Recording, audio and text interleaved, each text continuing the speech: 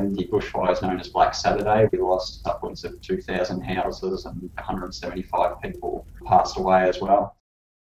A bushfire attack level assessment, known as a BAL assessment, determines the likelihood of impacts by bushfire at a particular location what we were trying to do is have these values calculated automatically using spatial data, which would mean that regardless of who went to that particular site, they would always come back with the same result.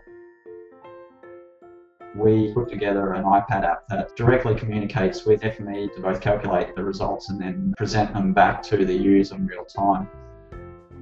This has the potential to help save property and lives in a bushfire event FME, hosted externally is a perfect option for us. It doesn't require any internal IT infrastructure Alpine Shire.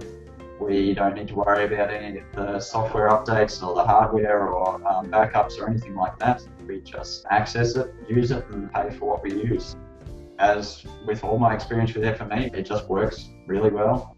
Without it, we couldn't have done this project.